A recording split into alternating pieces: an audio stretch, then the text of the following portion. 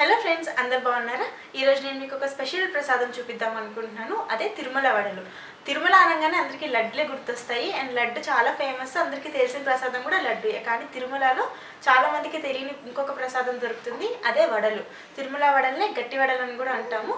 అది ఓన్లీ వివిఐపీస్కి కానీ లేదా కళ్యాణం అలా చేసుకునే వాళ్ళకి మాత్రమే ఇప్పుడు ఇప్పుడైతే ఇస్తున్న ప్రసాదము. సో ఎక్కువగా దొరకటం లేదు. దాన్ని మనం ఇంట్లో ఎలా తయారు చేసుకోవాలో ఈరోజు నేను మీకు చూపిస్తాను. ఈ తిరుమల వడలు ప్రసాదం అనే కాదండి చాలా హెల్తీ ఫుడ్ సో పిల్లలకి చేసి కూడా మీరు ఇంట్లో పెట్టచ్చు. ఇది ఎందుకంటే మనము నల్ల మినుములతో తయారు చేస్తాం అనమాట నల్ల మినుములు అంటేనే హెల్దీ సో దాంతో తయారు చేస్తాం కాబట్టి ఇంకా చాలా హెల్దీ ఫుడ్ ఇది. కాబట్టి మీరు కూడా ఇంట్లో తయారు చేసి మీ పిల్లలకి పెట్టండి మీరు తినండి మీ పెద్దవాళ్ళకి కూడా పెట్టండి. మరి తిరుమల వడలో గట్టి వడలు ఎలా తయారు చేయాలో చూద్దామా? Welcome back to my channel మా ఇంటి రుచి.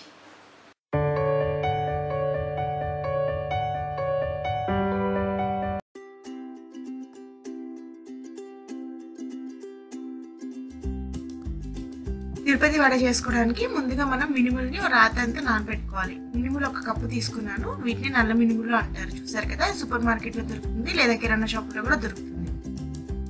వీటిని రాత్రి అంతా నానబెట్టుకోవాలి. లేదా మినిమం ఎనిమిది గంటలైనా నానబెట్టుకోవాలి. నానబెట్టుకున్న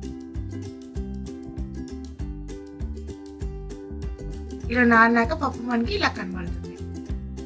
మీరు పొట్టేమి తీయక తీయక్కర్లేదని పొట్టు పొట్టుతోనే బలము. కాబట్టి మామూలుగా నీళ్ళు వడబోసేసుకొని పెట్టుకోండి. ఒక్క చుక్క నీళ్ళు లేకుండా వడబోసుకున్నాక మనం వరకగా చూపించారు కదా ముద్ద ఎంత గట్టిగా ఉందో వరకగా మిక్సీ పెట్టుకొని పెట్టుకోవాలి. అసలు వాటర్ పోయొద్దు ఎందుకంటే ఇది మనం నిలో పెట్టుకునే వడలు కాబట్టి ఇది పదిహేను రోజుల వరకు ఫ్రెష్గా ఉంటుంది. మనం స్టోర్ చేసుకుంటే కాబట్టి నీళ్ళు అసలు పోయకుండా గ్రైండ్ చేసుకోవాలి. ఇప్పుడు ఇందులో ఒక టేబుల్ స్పూన్ జీలకర్ర ఒక one and half tablespoon మిరియాల పొడి. నల్ల మిరియాల పొడి.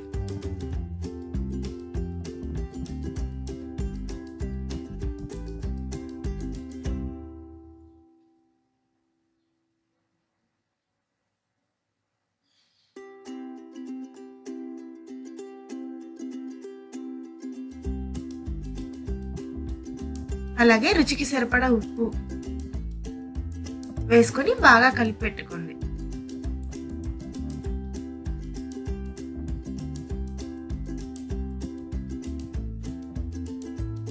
నేను మళ్ళీ చెప్తున్నానండి మనం మామూలుగా వడపిండి పట్టుకునేటప్పుడు కనీసం కొంచెం నీళ్ళైనా పోస్తాము. కానీ వీటికి అసలు నీళ్ళు పోయకూడదు ఇది గట్టిగానే ఉంటుంది పిండి.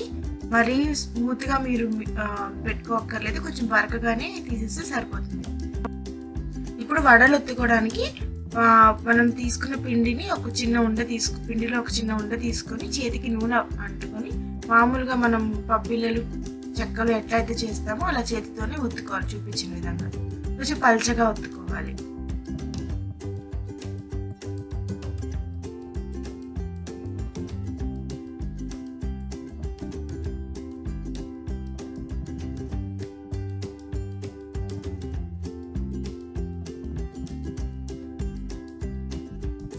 ఇప్పుడు వడలాగా పంచలో హోల్ కూడా పెట్టుకొని కాగిన నూనెలో వేసుకొని కాల్చుకోవడం వడల్ని కాల్చుకోవాలి. మీరు ఇక్కడ నూనె అయినా వాడుకోవచ్చు? లేదా నెయ్యి అయినా వాడుకోవచ్చు? మామూలుగా తిరుమలలో అయితే నెయ్యితోనే తయారు చేస్తారు. మనం ఇంట్లో చేసుకుంటున్నాం కాబట్టి నూనె అయినా వాడుకోవచ్చు? లేకపోతే మీ దగ్గర మీకు నెయ్యి ఇష్టమైతే నెయ్యిలో కూడా కాల్చుకోవచ్చు.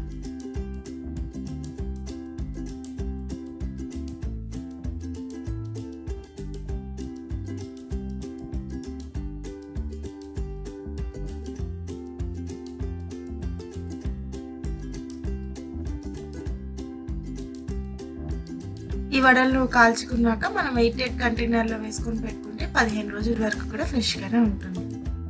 అయ్యవారి ప్రసాదం తిరుమల వడ ఎలా తయారు చేయాలో చూసారు కదా? అమ్మవారి ప్రసాదం బెల్లం పరిమాణం చూడాలంటే పైన ఇచ్చిన లింక్ క్లిక్ చేయండి. సో చూసారు కదా ఫ్రెండ్స్ గట్టి వడలు ఎలా తయారు చేసుకోవాలో? ఇప్పుడు నేను మీకు టేస్ట్ చూసి చెప్తాను.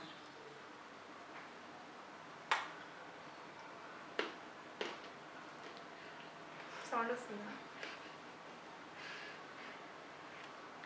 గట్టి వడలు నూరికే అనరండి చాలా గట్టిగా ఉంటాయి. పళ్ళకి మంచి ఎక్సర్సైజ్ కానీ టేస్ట్ అంత బాగుంటుంది. దీనికి అందుకని గట్టి వడలు అని పేరు వచ్చింది. మామూలు వడల్లా ఉండవు ఇవి సాఫ్ట్గా ఇవి గట్టిగా ఉంటుంది.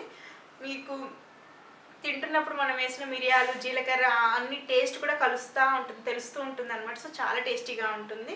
మంచి టైంపాస్ ఫుడ్ అండ్ చాలా హెల్దీ ఫుడ్ కూడా. అలాగే ఇవాళ మనం ఇది ఆయిల్తో ఫ్రై చేసాము. మామూలుగా తిరుమలలో అయితే నేతితో చేస్తారు. నేతితో చేస్తే ఇంకా చాలా టేస్ట్ వస్తుంది. ఒకవేళ మీకు నేతితో ఇష్టం అనుకుంటే నేతితో కూడా తయారు చేసుకోవచ్చు. మీకు ఈ రెసిపీ నచ్చిందని అనుకుంటున్నాను. మీకు ఈ రెసిపీ నచ్చినట్లయితే ఎప్పటిలాగే లైక్ చేయండి షేర్ చేయండి కమెంట్ చేయండి నా ఛానల్కి సబ్స్క్రైబ్ చేయండి. సబ్స్క్రైబ్ చేశాక పక్కనున్న బెల్ ఐకాన్ క్లిక్ చేయడం మర్చిపోకండి. మీకు ఇంకా ఇలాంటి ఇంట్రెస్టింగ్ రెసిపీస్ కావాలంటే నాకు కమెంట్ సెక్షన్లో మెన్షన్ చేయండి. నేను మళ్ళీ ఇంకొక ఇంట్రెస్టింగ్ రెసిపీతో మళ్ళీ కలుస్తాను. అంతవరకు thank you for watching take care bye